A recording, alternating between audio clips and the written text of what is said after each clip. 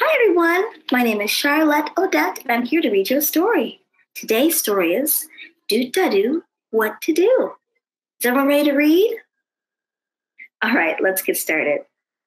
Do Da Do, What to Do.